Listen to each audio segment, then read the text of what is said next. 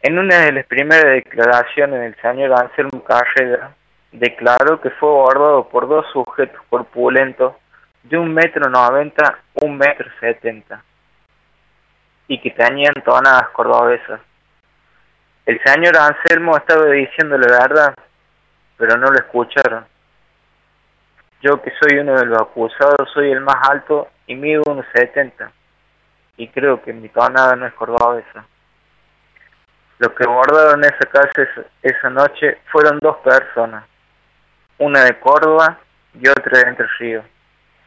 Las mismas personas que en ese entonces trabajaban a metros de su casa.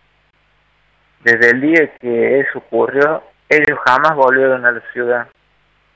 También he tenido la oportunidad de hablar con testigos y confirmaron haber dicho todo lo que la policía les pedía, en especial Rodríguez, él era el encargado de meter la presión en contra nuestra. Lo único que busco, ya que han pasado los años y el tiempo, que las caretas salgan y como yo lo dije, tengan el valor de decir lo que saben. Yo ya estoy condenado, nada cambiará mi situación.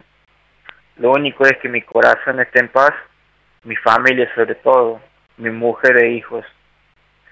Solo busco que en verdad ese tañero tenga justicia verdadera y descanse paz, de que no sea un alma penando.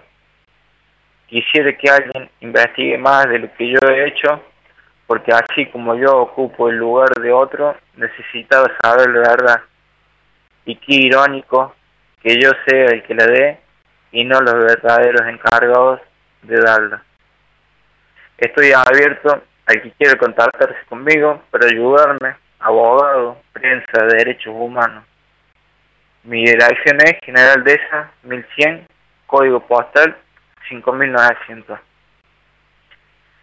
Eh, Matías, Matías, buen día. Adrián Fiandino te saluda. ¿Cómo te va? Muy buenos días. Buenos días. Matías, ¿te, ¿te se indica como autor material o como cómplice? No se me indica ni como autor como material ni como cómplice. Tengo el rol de coautor. Coautor. Ajá. Coautor. O sea, Así estoy con el título. O, o sea, o sea, eh, digo, como o sea, persona dudosa. Y un metro setenta. Yo mido un metro setenta.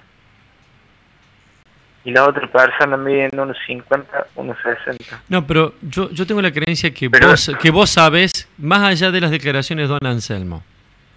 Sí. Yo creo que es una creencia mía. Pe- pe- permitime, permitime, digo, es- esbozar esto, porque aclaro a la audiencia. Sí, sí, sí, quiero quiero ser respetuoso en esto, porque eh, no te no eh, no está en mí señalarte de nada. Eh, No, no, no, yo, yo, yo, yo confío que la justicia, equivocado o no, hay una justicia. Eh, Sí. y, y lamentable si, y, lamentable lamentable si se, si se equivoca o, o hace cosas que no debe. Pero digo, yo estoy convencido de que vos sabés quién mató a Doña Dominga. Más allá de lo que Sí. dijo Don Anselmo. Sí. Lo que pasa es que no Sí, lo has dicho. con- eh, Lo que pasa es que no lo has dicho. Lo que te, o sea, te lo vuelvo a repetir. No se lo dijiste Te al dije- fiscal en privado. No se lo dijiste a ningún No, no fiscal. se lo dije al fiscal. No, no se lo dije a ningún fiscal. ¿Y por porque qué? mi palabra no mi palabra no vale de nada. No, a pero eso voy. no, está bien, pero ¿por qué no se lo decís al fiscal? ¿Porque tenés miedo a es la como, venganza? no, no, no, no, no. Eh, venganza esto, no, no tengo miedo. Eh, no tengo miedo, solamente te estoy, es como yo te lo digo. Si yo me presento cara a cara al fiscal, eh, el fiscal no, no me cree a mí, ¿entendés? Eso es lo que pasa. No es que yo no quiera decirlo por X motivo. Es más, te lo estoy diciendo al público, te lo estoy diciendo al aire, se lo estoy diciendo todo. ¿Entendés? Pero no me Yo estás dando, pero no me estás dando el nombre del, del, del autor de, de- del asesinato, del responsable de la muerte de Doña Dominga. Los, las dos personas, como te vuelvo a repetir, una persona era oriundo de Córdoba, Ujú. Apodado Máquina, Apodado máquina. Apodado Máquina. La segunda persona, que fue la que se comparó conmigo, fue un entrerriano. Un entrerriano. Ahí- Ese chico se llama Martín, Marquí. Martín. Martín. Martín.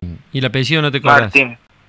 El apellido no me lo acuerdo, o sea, pero sí sé dónde vive la familia, o sea, la familia hay en General Cabrera, sé dónde vive, o sea, o dónde vivía, porque se han trasladado, han estado, no han estado, Ujú. ¿entendés?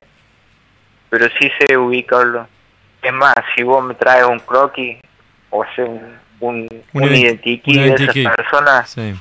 yo te lo sé señalar, ¿entendés? ¿Los dos vivían en Cabrera? Los dos en ese entonces estaban en Cabrera y en ese entonces, días antes del hecho, trabajaban a metros de su casa. Eran albañiles. Ujú. ¿Y ninguno de los dos compareció ante un tribunal por este caso? No, ninguno de los dos, ni tampoco fueron citados, ni nada, ni indagados, creo. ¿Y vos en ese momento diste estos, estos datos referenciales como estás brindando ahora al aire? No, porque como yo te dije, yo lo busqué desde acá adentro. Como yo te dije, yo necesitaba saber O el sea, lugar de quién estoy vos- ocupando hoy en día. Vos te enteraste después, después de, de, de- de- bueno, de, cumplir con la condena. Te, Claro. te enteraste mucho O sea, tiempo hasta el- después. Hasta el día de hoy busco cosas y cosas para Ujú. O sea, es como yo te digo, yo ya estoy condenado, mi pena ya está marcada, pero así como lo estoy diciendo ahora, el día de mañana me encontraré cara a cara con estas personas Matías, eh, ¿vos los y conocías? seré yo el que seré yo el que las confronte. ¿Vos los conocías, Matías? ¿Eran amigos tuyos, conocidos? No, no eran no eran amigos míos, pero los he visto. Vos lo- vos- o sea, vos tenés la capacidad de reconocerlos hoy. Yo tengo la capacidad de reconocerlos hoy en día. ¿Cuánto hace que estás en Bien. prisión, Matías? Eh, y digamos que yo llevo seis años y medio ¿Te faltan? computando todo. ¿Y te faltan cuántos? Y me falta, para mi libertad condicional, me faltarían tres años. Ujú.